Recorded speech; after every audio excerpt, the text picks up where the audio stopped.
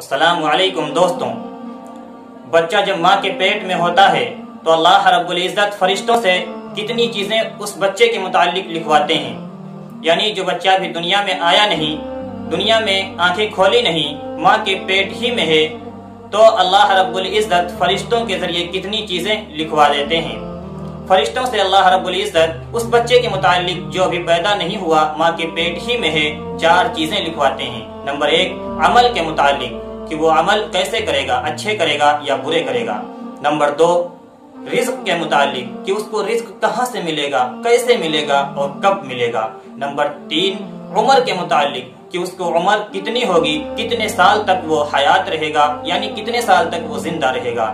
Number چار وہ نیک بخت ہوگا یا بد بخت ہوگا یعنی وہ اچھے کام کرے گا اور اپنے آپ کو اللہ کی بتائے ہوئے طریقے کو اختیار کرے گا، اللہ کے اور اللہ کے نبی کے بتائے ہوئے طریقے پر چلے گا یا دنیا کے بتائے ہوئے اور دنیا کے گندے راستوں پر چلے گا۔ یہ اللہ رب العزت چار چیزیں اس بچے کے متعلق اسی وقت لکھوا دیتے ہیں جب وہ ماں کے پیٹ میں ہوتا ہے۔ یہ چار چیزیں دنیا میں آنے سے پہلے ہی اللہ رب العزت اس بچے کے متعلق لکھوا دیتے ہیں۔ السلام علیکم ورحمۃ اللہ